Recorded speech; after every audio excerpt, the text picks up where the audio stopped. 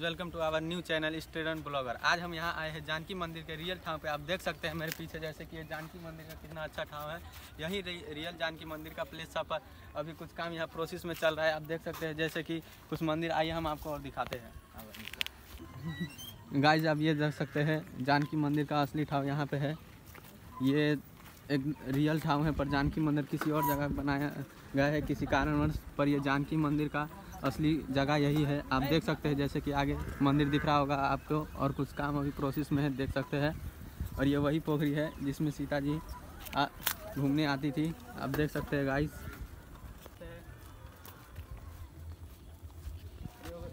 Speed का दिया video guys आप जैसे जैसे देख सकते हैं जानकी मंदिर यहीं पे था। सीता जी का घर जो अभी प्रोसेस में चल रहा है और ये कुछ यहाँ पे बन रहा है जानकी मंदिर जैसा ही है। अभी पता नहीं चला है पर कुछ दिनों में ये बन के तैयार हो जाएगा। अरे कुछ ब्लॉगर यहाँ पे है।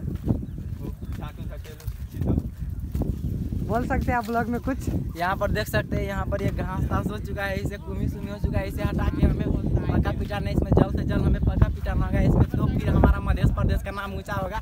क्योंकि यहाँ पर देख सकते हैं हमारा यहाँ पूरे प्रिपरेशन हो चुका है और कब तक रेडी होगा हमें मालूम नहीं है। ये दो तीन दो तीन साल से लगभग ये पेंडिंग में है और कब तक तैयार होगा ये हमें भी मालूम नहीं है, क्योंकि यहाँ पर देख सकते हैं। यहाँ पर जितना भी बजट आता है वो सब खा पी के ये कर देता है और ये हमें बनाना बहुत ज़रूरी है, क्योंकि ये बन जाएगा तो फ़ोटो सोटोग्राफ फोटोग्राफ करूर के यहाँ पर हमारा गाइस ये देख सकते हैं मेरे पीछे धर्मशाला है कितनी ही खूबसूरत आकृति में बनाई गई है। इसे अभी कंप्लीट नहीं हुआ है। कंप्लीट होने में कुछ टाइम लगेगा और कंप्लीट होने के बाद आप देख सकते हैं कितना खूबसूरत लग गया। आइए हम आपको दूसरी दो, हम देख सकते हैं आप ये मंदिर बन रहा है बिल्कुल ही जानकी मंदिर के स्टाइल में बन रहा है। ऊपर देख सकते हैं कितनी खूबसूरत आकृति है और ये देख सकते कितना काम अभी बाकी है और ये बनने के बाद हमें लग रहा है बहुत ही खूबसूरत दिखेगा।